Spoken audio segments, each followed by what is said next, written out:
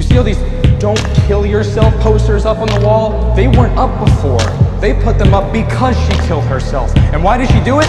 Because the kids here treated her like shit. Jensen, that's enough. But no one wants to admit it, so they paint over the bathrooms and put up a memorial because that's the kind of school that this is. Everyone is just so nice until they drive you to kill yourself. What, they think that these are gonna save someone's life? Suicide's not an option? Yeah, you know what? Clearly it is an option. Why don't they put up a poster that says, don't be a fucking dick to people? Why don't we put up that poster?